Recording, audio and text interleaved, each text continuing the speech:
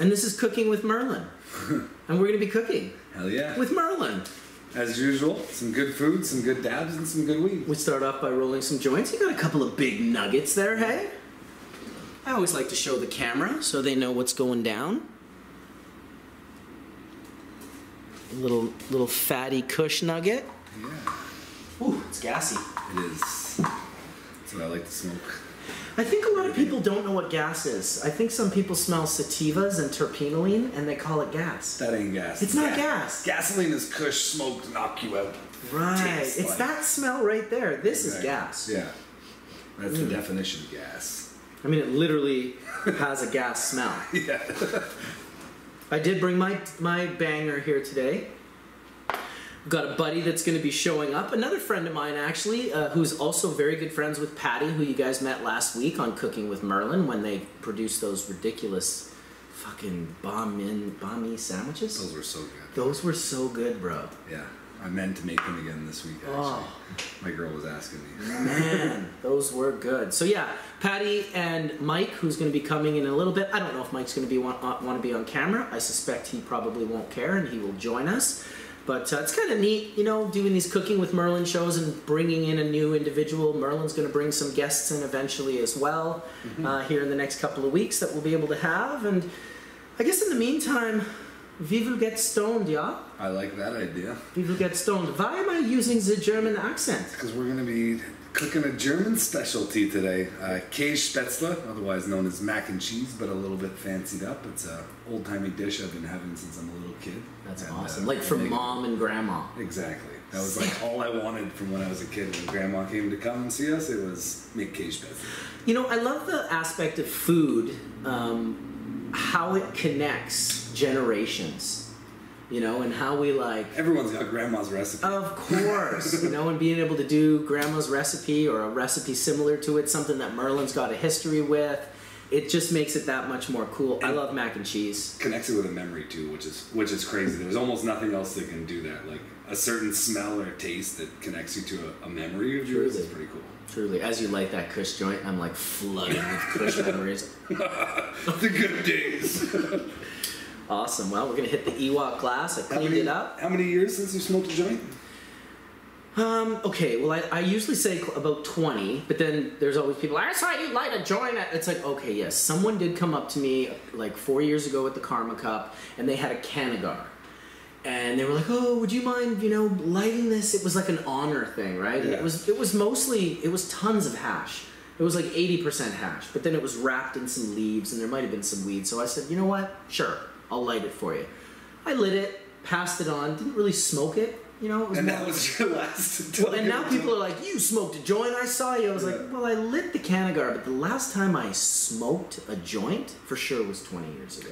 We tricked people on the last one too with that hash. It looked totally like a joint. I love it too because some guy from Humboldt was like, "That's not a unique one hitter. We've been smoking out of those for 20 years." I'm like, "Yeah, but not like paper ones." Yeah, they're the glass ones. Exactly, the glass and the ceramic, and they conduct heat, and they're just very different. They're not going to be as convenient and ease of use as you know being able to pick up. And it's not like the, the problem is is the glass ones, unfortunately, because of like other drugs that made it, they look bad, right? You pull Yeah. out a glass pipe like that, people are thinking you're not smoking cannabis, right? So uh, I like those paper ones. It looks more like a cigarette. It's almost like when I'm drinking my water and everyone thinks I'm drinking vodka. we were talking about that off camera before, but I'm sure you guys have seen my memo bottles, these very flat bottles. This is the one that looks the least like an alcohol container. Yet it still does have a little bit. What kind of vodka you got there today? It's like I got the H2O vodka. Ciroc version. Ciroc. Berry flavored. You've got the dabber, or did you put that away already? Oh, I'll grab it. Oh, thanks, brother. So yeah, super excited with these series. You guys seem to be very um, receiving them very well. It seems like uh, po- positive, um, yeah, positive comments and positive feedback from everyone that's been watching the Cooking with Merlin Merlin series.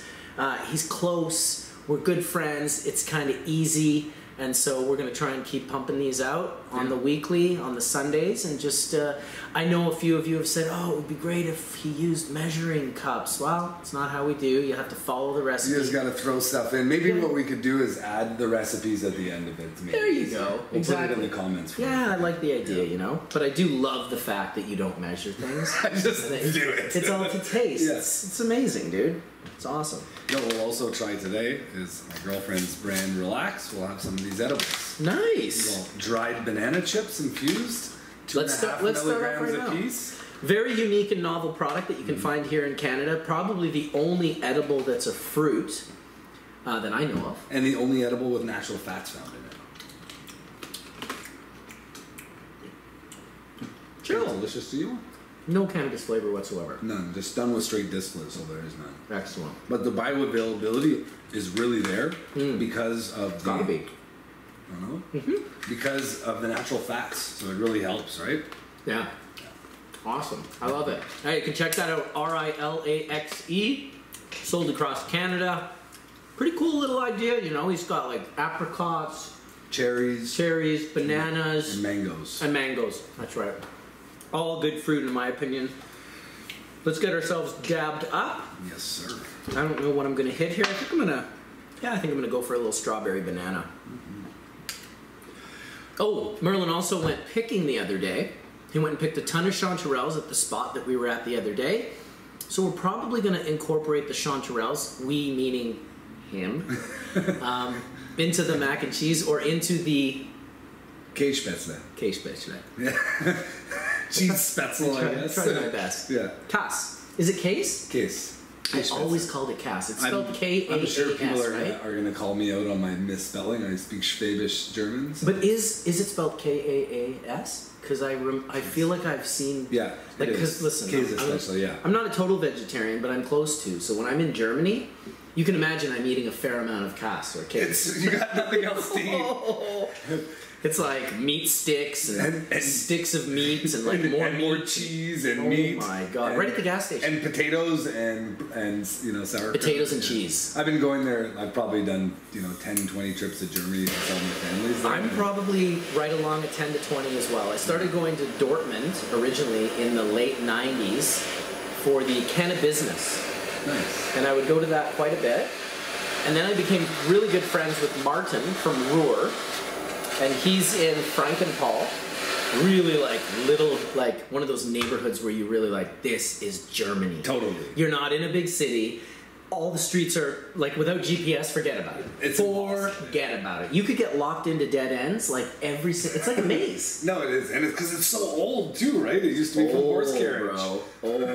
Definitely not designed for like Mercedes 500 SLs. No. So my my cousin actually lives in uh, in this little town called Biberach, which is your classic tiny little German town. Oh, yeah. They've been he's been in the packaging business for I don't know thirty years. They do most of the food packaging across across Europe, and they just recently he was like super conservative. And I asked my mom about cannabis packaging since that's what we do pretty much all day. Is I make sure that I can bring products like yours to market as cheap as possible with good packaging. right. So I don't know if we mentioned it before, but Merlin works with CannMart, formerly Namaste Technologies. Yeah. he's kind of been a. I've, I've been involved since he kind of went over there, and he's grown himself into a nice, strong position. And in fact, you know, my company Embark and CannMart have recently kind of created a, a little synergy, and we'll we'll tell you more about that in the future as we announce. Yeah, so it's it's really fun, and we get to work together as well. So it's even even more fun, right?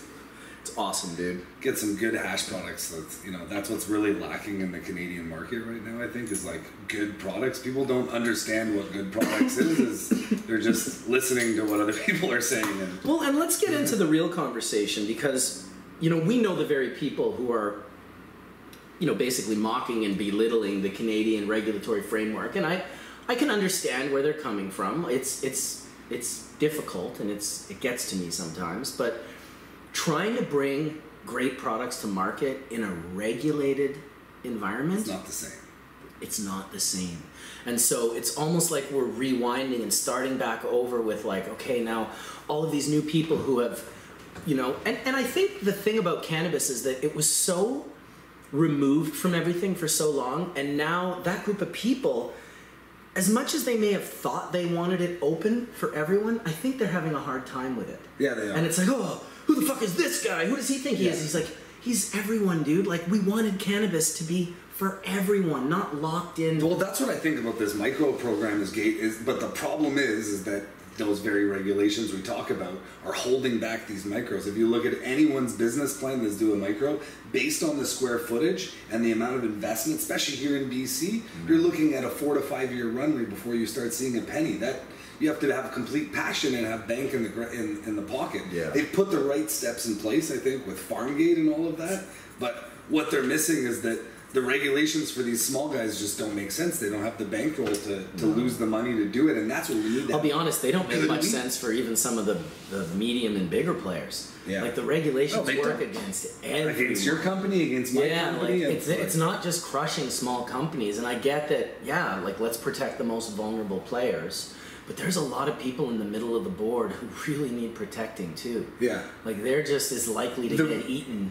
But the reason that I say that the small that fight for the small guys is because the big guys have such big rooms that they can't show enough love to their cannabis and grow good product. And for the products that you and me want to see in market, it takes the smaller guy that's this is his life. If he doesn't have this crop come through as nice as possible, Yeah. he's not going to be able to keep surviving. But they, they can't be growing bad cannabis on purpose. You know that. They're not. So that's what I'm saying. Hard. And they have people like Yeah. there are people like that know how to grow cannabis that are involved with these companies. Like these companies have, you know, like But- I mean DNA was involved with Can- Canopy. Why can't Canopy? Because growing herb that good on that, that big level, scale is so hard. it's so It's a big difference between 20 lights and 400. It, sh- it probably should have been grown pragmatically, Yeah. small. Like everyone starts out as a micro, Yeah. and the ones that gain milestones and success can apply and become maybe bigger.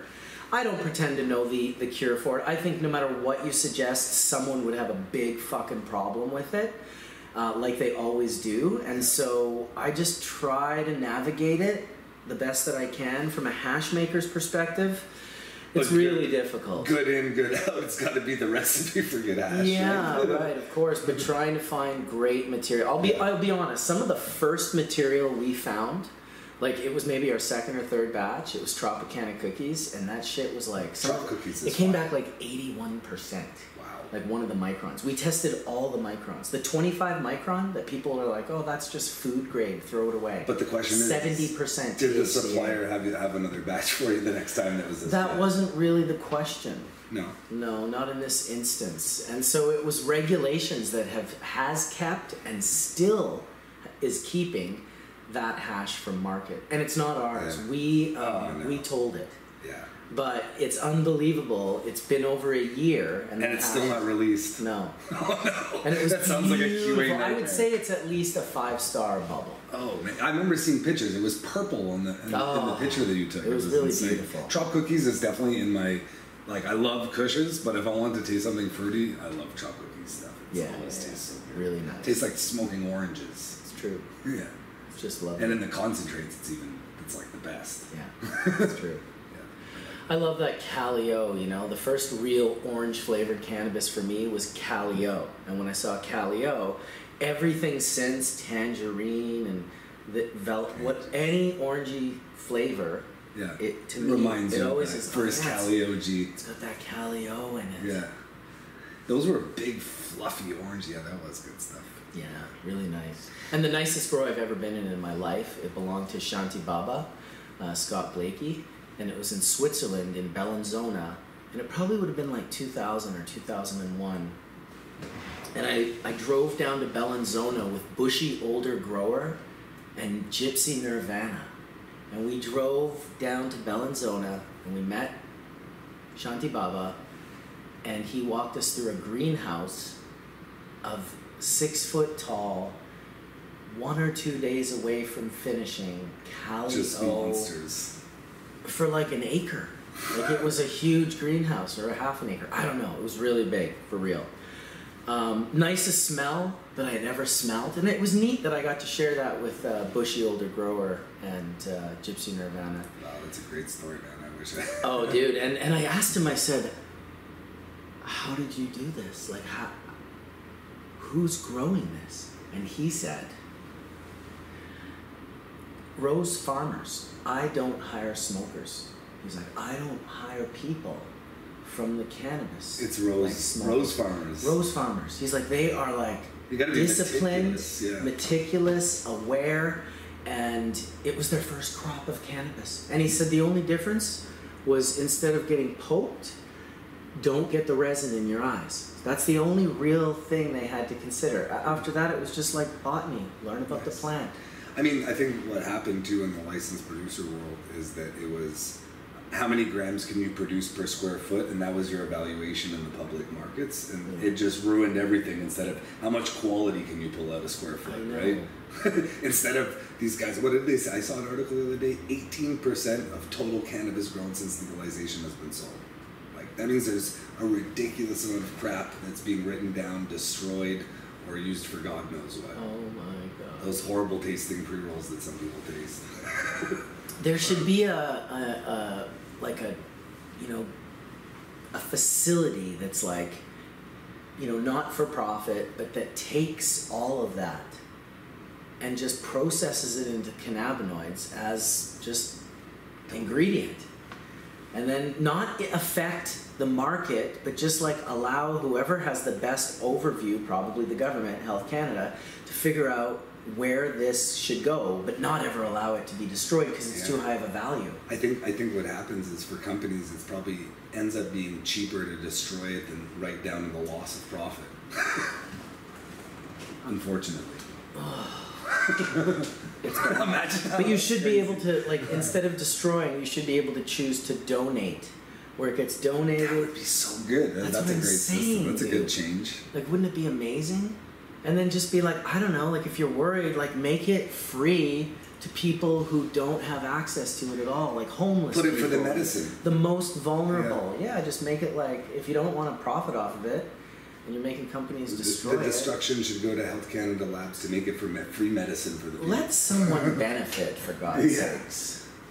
Yeah. Imagine. All right, we went a little bit deep. we did. And that's okay. We were talking about maybe doing this. Um, I think it's time to make some uh, Cage beds. some case spätzle. Let's do it. Kitchen bound. All right. All right. So serious. So. Uh, Oh, we should introduce here. our next friend. Mike's here. Hey. What's up, dude? All right. So I think the first step is to add onions to a hot pan, Ooh.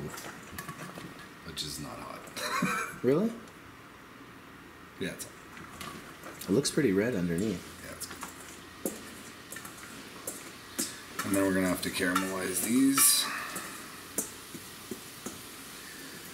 While we do that, we'll set up for the cheese and the pasta That's pretty serious. and the mushrooms. Yeah, there's. Uh, we're gonna go through that cheese for sure, because there's like four or five Tear different ones. Get a little salt on it to sweat it.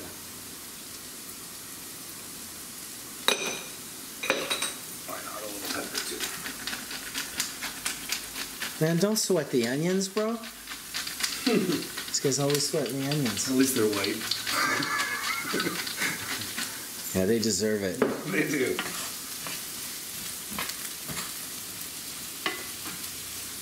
Soon to be caramelized. And delicious.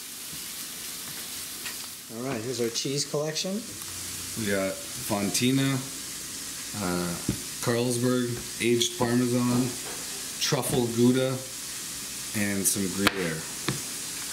Damn. Yeah. And we'll Just- grind these motherfuckers up right here.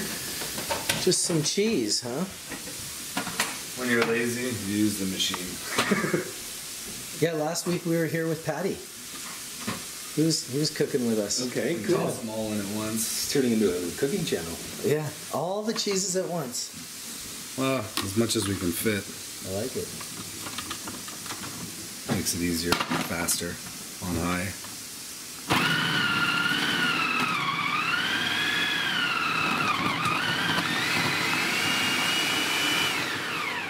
Damn, Just like that. this motherfucker doesn't really mess around with his cheese. it's just like no fair warning or nothing. And then you Just like fully cheese. homogenized five different cheeses. It's the way to do it. We'll go for the pasta next. So, two cups of flour. You I should stir this? Now you want to let them just sweat a little, a little bit more. Stir it in a second. If you don't mind, it'd be great. Crack four eggs in this thing. That first, you know, especially with a cast iron, that first like caramelization that gets made on the pan, Mm-hmm. like that's like the best tasting stuff. Okay. That's why you let it sit. Yeah, exactly. So four eggs in here. These up real quick. Then we're gonna add in uh, half a cup of milk. You could use a vegetable-based milk too, or if you wanted to do this, I don't know. You could maybe use linseed, linseed water to replace the egg. Have you ever tried that? No. It's like the vegan egg. Oh, okay. So we're gonna yeah. Get that nice and stirred up. Put it into the two cups. Make a little well in there. A little well. And then we can start mixing this.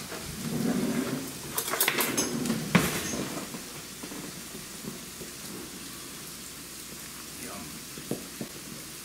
Hand made pasta, right? Yeah, these are really cool. It's really different from most pastas. It's like a special German pasta. They, they're super light and airy and fluffy. You'll see it's a, it's a special machine you can get to, to make it. Interesting.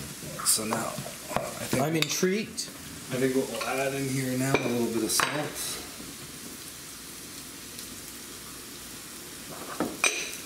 And the, the real secret to this pasta to get a lot of flavor is nutmeg. Mm. That's the touch right there. Exactly what I said. Just a couple little scrapes in there. Ooh, That is quite a yummy.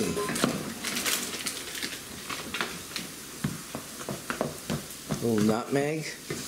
nutmeg. And if it, the, you want this dough to be a little bit runny actually. So if it's not runny enough, would you mind grabbing me some milk out of the fridge? please?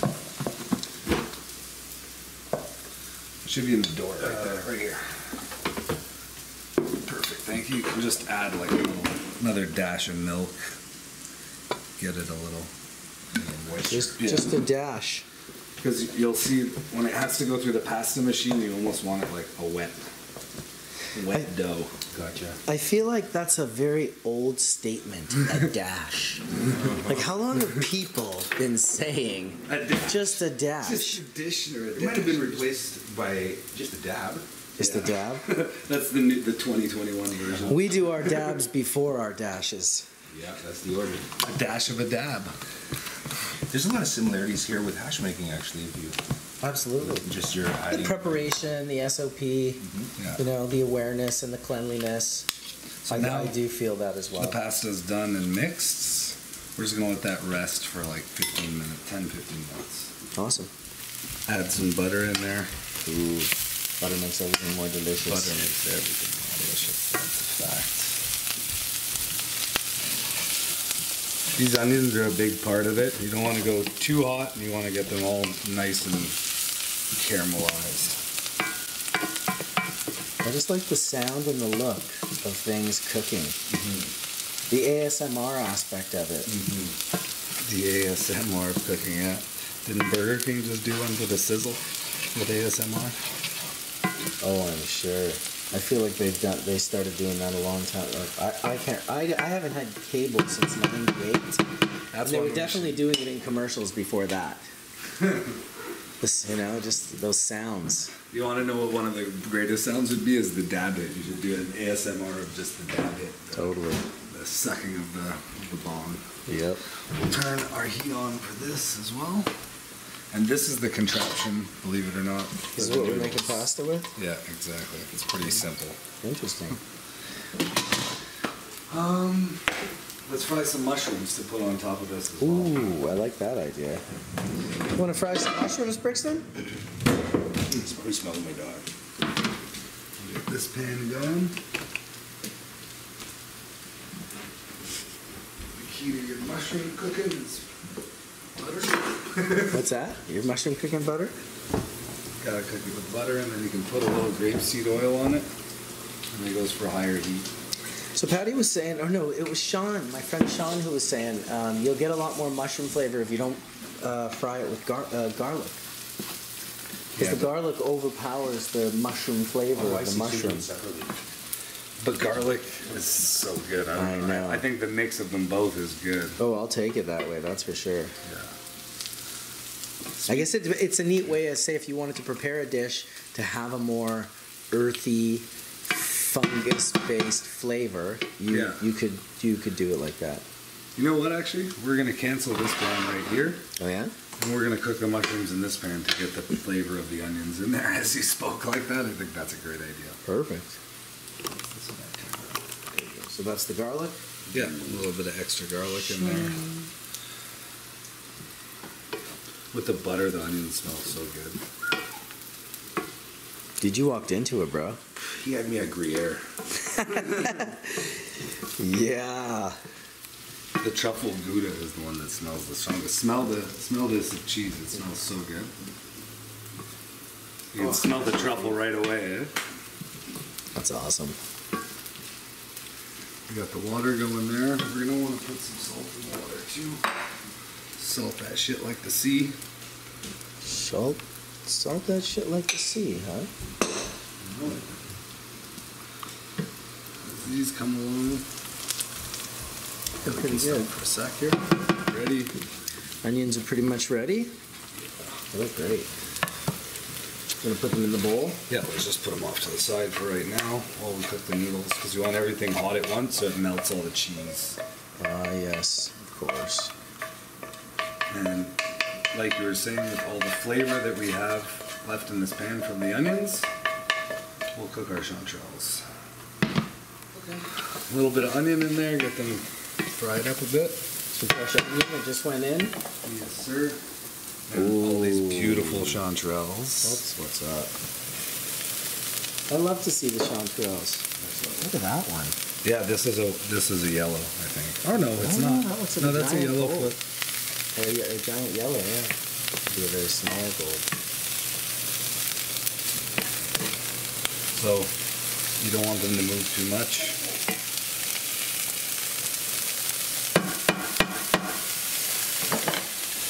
Oh, that's the sound. The pepper.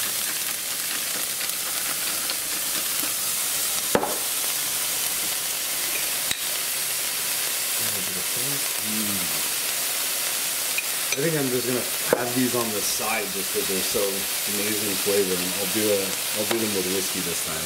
Yeah? super good. Yeah. Instead of gin. Instead of gin, we will do whiskey. Um, we're gonna do a little bit of. We'll do Tamari and whiskey. It's pretty tasty. There's his whiskey. Black label. Let's do our pasta.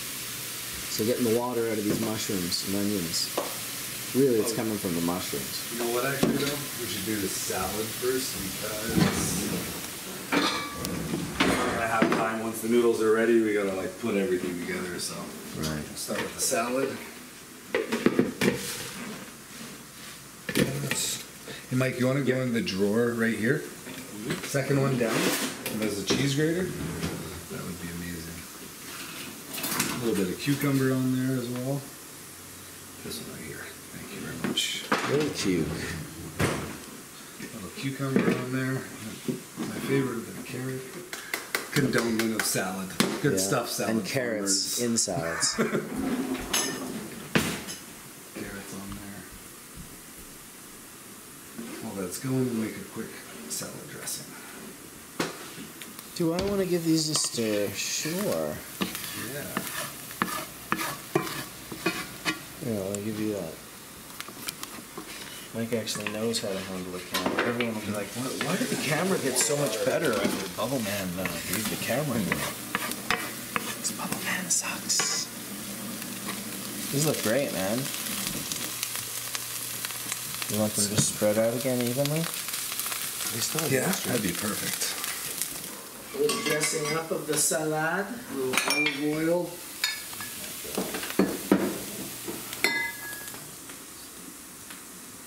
Olive oil. Some balsamic.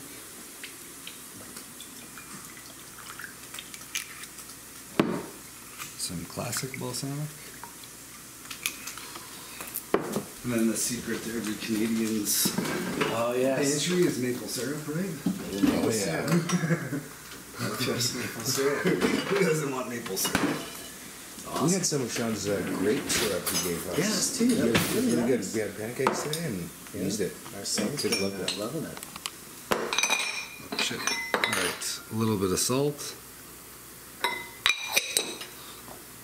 little bit of pepper.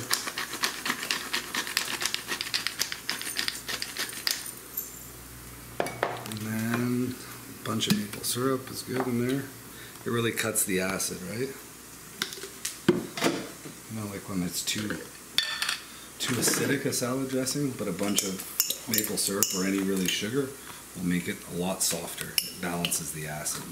And then a little bit of Dijon mustard or a nice amount as an emulsifier. And that'll be our salad dressing. Oh. So that's on the side. Let's stir our mushrooms. This is the whiskey portion of Now they're nice and fried. So we'll put a little bit of that in there, a little bit of the tamari for the saltiness. You can see there's a whole bunch of flavor left on the bottom of that pan from the onions, from, the, from this, and smell that tamari, right?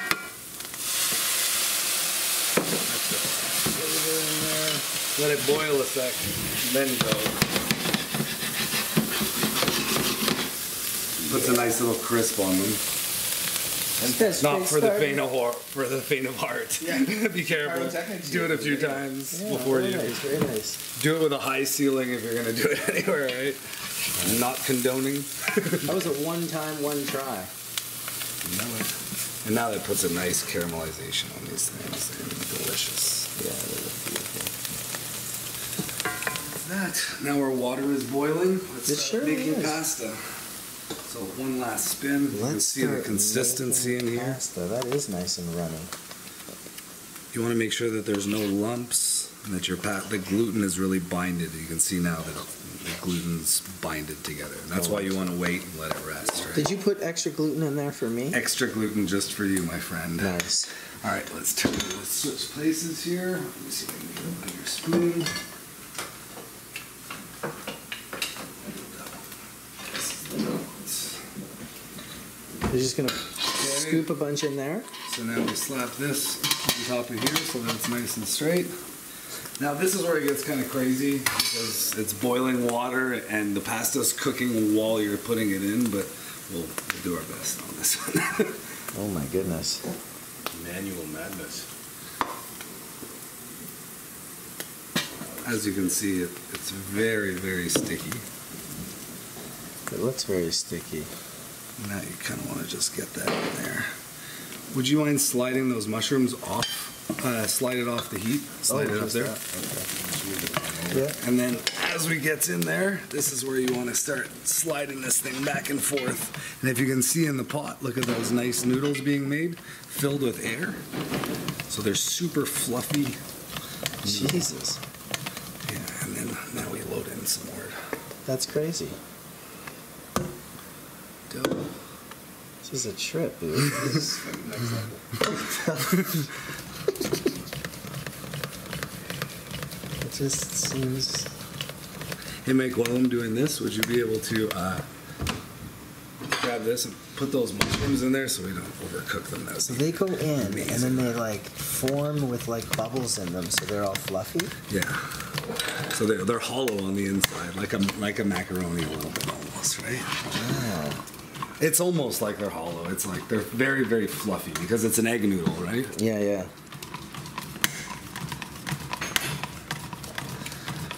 And then that last bit of dough always gives you a hard time to do the best you can, get it all off there, not at the expense of wasting your other noodles, because you don't want them overcooked. Okay. But look how beautiful those things are. Yeah, those are some nice noodles. They're actually really long this time. They're usually uh, shorter than this. I did a we did a stellar job here. They're like actual pasta noodles. usually they come out a little bit shorter. I appreciate the we, Merlin, but uh, we did it, man. I don't know what I did. you like uh, maestroed that shit. I can't even believe it. That was like some mastery. I was like, this is Jean Luc the French kitchen. All right, those are pretty much cooked because noodles don't take long, especially fresh ones. Beautiful. Got a little strainer here. Make sure everything's good there. One last stir. So Kim is, is always in. Crazy meals. There we go. Strain all that out right there. Your heat. And now I know a lot of people like to run it with cold water to kind of get those starches out, but you want to keep as much heat as possible because that's going to be uh, essential to make it melt all your cheeses. Next stage here. That was quick too. You just boiled that for like five minutes. Yeah, yeah, it's real quick. Super easy pasta to make. So now we get our nice pot here. Get our pasta in there. We get our onions in there. With all that butter and onion deliciousness. This is gonna be the best mac and cheese you guys have I ever mean, had. I'm yeah, you. I was coming over for mac and cheese. I heard, and then this happened. So we wanna mix in those onions, get all that flavor and butter distributed in there. I'm taking a couple clips just so I can shoot my weight. It's absolutely ridiculous. Okay, But I'll have now it's some you can show delicious oniony noodles. Now we start with the cheese. Get it in there. You can smell right away the terps of those cheeses coming off, especially that truffle cheese. Cheese terps. Cheese terps. It's probably the first terps when people started fermenting stuff. Oh man. Oh yeah. That's insane. and a little more cheese even. You gotta get that cheesy. It's over the top. Totally over the top. I should put another cup of this in. Wh- wh- Which one was that last one? Mozzarella, That was the just to have the stringy. I think that we're gonna. Should we mix that in? Ah, you know what? I think so. I think dude. we will. The way you just did that with everything was Yeah. like. let's get the. Let's make this next level spätzle for the bubble for Bubbleman's world. It's a mushroom spätzle. Yeah, mushroom spätzle just for Bubbleman's world. dude, that you handpicked the mushrooms for. Ridiculous. And we handmade the noodles for. This one's all done special. Look at the cheesy goodness in there. Just smell. You can. You can s- hear it. Oh yeah, look at it just get like stringiness of the goopy, and now as it's gonna melt. This is the key. Why you wanted to keep the heat straight out mm-hmm. is is because this next few minutes turns it into a sauce kind of. Then we want to hit it up with a bunch of pepper. Pepper is delicious in this. You got food network. We're gonna have our own food network, Marcus. Yeah. Cooking with Merlin. Yeah. Whole bunch of God. pepper, Damn. bunch of salt. Oh yeah. We're gonna go gluttonous, right? I think we're well on our way. Maybe we passed gluttonous like three milestones back. Look at all that string cheese. Half a there. pound of cur, uh, half a pound of cheese back. We passed uh, that. Yeah, There we go. insane. And then we're gonna do some of this. A little bit of chopped parsley for the top of that. Now we'll grab some tongs here. Let's mix our salad.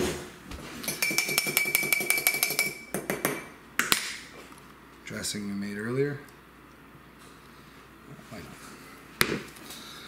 Tongs are the best for salad.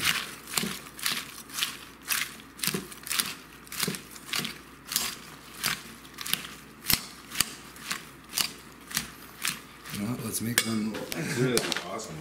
man. Thanks, bud. Pumpkin come over seeds? for dinner. A little bit of pumpkin seed. Why not? I like pumpkin seeds. All sorts of different seeds in salad is good. Mhm, I agree. There we go. All right, let's uh, get you another plate now, Mike. All right. Wow, that was uh, quite a production. Yeah, it looks like it's gonna be pretty damn good It's too. I'm excited. ridiculous. It's a great Sunday Sunday tradition. I feel like you should start us off. Let's do it. Gotcha. Now let's look how cheesy now. it's it's actually Start myself off with a little salad. Oh wow, you're giving me that too. Thank you. I'm gonna say start yourself off, but thank you, sir. That looks. So. That's ridiculous, dude. Thank you, sir. I get one more. The top hat. I guess we can just go back for seconds. Yeah, exactly. I'm definitely gonna be crushing some seconds. Oh, the aromas. So good. It's so good, man. Yeah. I feel like I just my mouth is just watering, like hard. Yeah. As always, Merlin. Let us take the first few bites. Let them know what we think. It's so cheesy. Mike's here. He can give us his. Uh,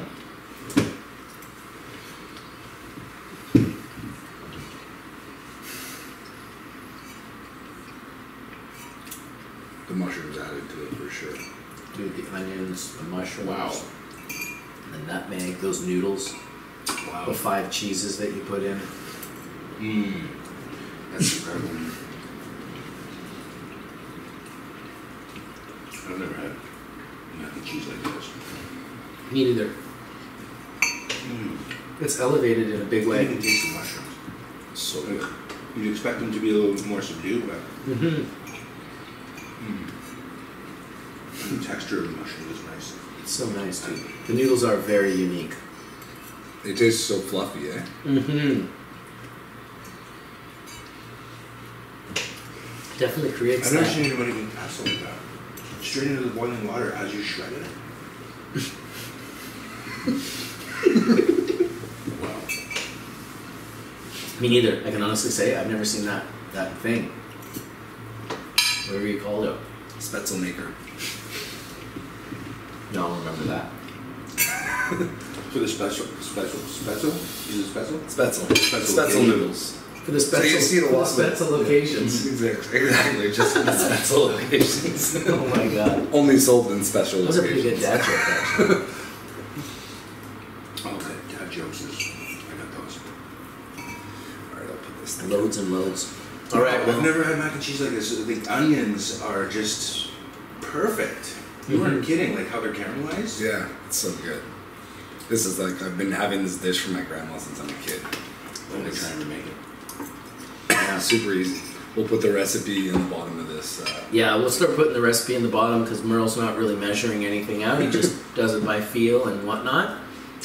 But um, yeah, thanks for joining us while we eat the Spätzle. This has been a Spätzle occasion. Spätzle occasion. Stolen from Mike. Peace out, everybody. see you later. Thanks. Thank you. Thanks for following.